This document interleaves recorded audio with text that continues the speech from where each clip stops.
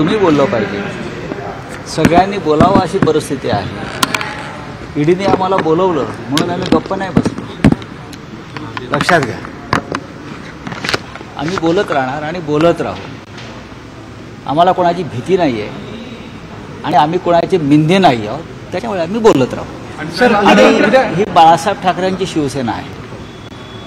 इथे डुप्लिकेट नकली काही नाही. जे सत्य आहे जे प्रखर आहे ते शिवसैनिक बोलणार. कर नाही त्याला डर कशाला? आणि आमचं ना आमचं राजकारण नकलांवर उभं नाही आहे लक्षात आमचं राजकारण हे कामावरती स्वाभिमानावरती उभं आहे आणि संघर्षावर उभं आहे.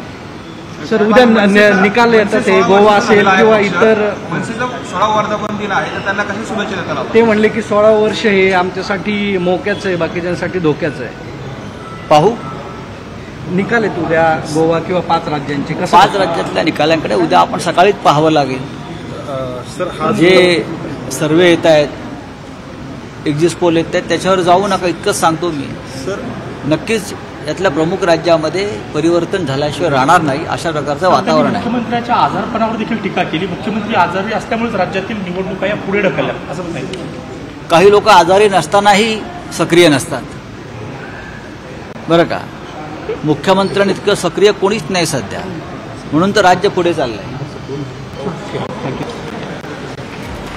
तेव्हा आमचं राजकारण हे नकलांवर नाही तर आम्ही करत असलेल्या कामांवर असल्याचं संजय राऊत यांनी म्हणत राज ठाकरेंना टोला लगावलेला आहे ईडीनं आम्हाला बोलावलं म्हणून गप्प बसलो नाही असं म्हणत राज ठाकरेंना त्यांनी प्रतिउत्तर सुद्धा दिलेलं आहे. आमचं राजकारण हे नकलांवर चालत नसल्याचं म्हणत राज ठाकरेंनी काही वेळापूर्वी संजय राऊतांवर टीका केली होती त्याला आता राऊतांनी प्रतिउत्तर दिलं. एबीपी माझा उघडा डोळे बघा नीट.